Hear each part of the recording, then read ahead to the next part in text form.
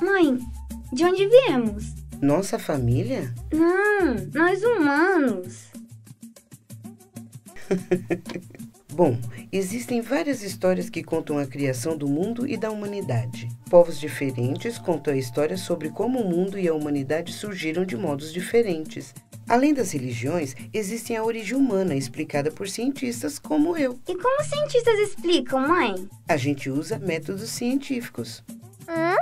Hoje, olhando o álbum de fotos, surgiu uma pergunta, não foi? Uhum. Esse é um dos caminhos possíveis: observar e então fazer uma pergunta.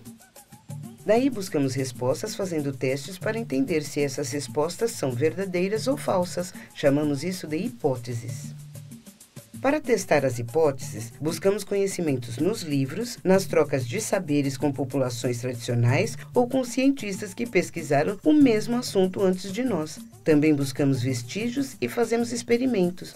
Quando os vários caminhos e olhares levam aos mesmos resultados, temos uma teoria. Como é o caso da teoria da evolução, que explica a origem das formas de vida que a gente conhece, incluindo os seres humanos. E como os cientistas sabem tanto sobre coisas que aconteceram há tanto tempo? Para estudar a evolução humana, por exemplo, precisamos entender melhor como vivem diferentes sociedades hoje em dia, analisando o corpo humano e estudando a história profunda e antiga da humanidade. Uau! Eu quero investigar nossa história. Mas, mãe, você ainda não me respondeu. De onde viemos? Tá bom, mocinha. Mas agora é hora de dormir. Depois a gente conversa sobre a evolução humana, tá bom?